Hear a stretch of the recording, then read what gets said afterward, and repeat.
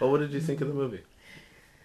I I liked the, I liked the movie, but uh, I thought uh, Mickey Rourke, who who played Bukowski, didn't get his uh, intelligence. He wasn't just you know he just couldn't get that smartness that Bukowski has. That's what what he didn't get. He got the walk. He got the walk and and the mannerisms and all that, but he just missed.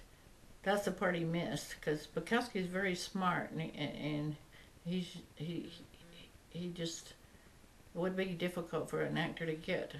And the other movie they made about him, they made him too too mellow. Is this with Matt Dillon? Yeah, too mellow.